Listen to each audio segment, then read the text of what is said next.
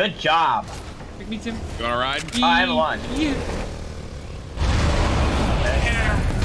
Alright, guys, I'll just use my lunch then. I actually hate Tyler. I hate you. I hate him. I hate him. I think he, I think he turned around and deagled him out.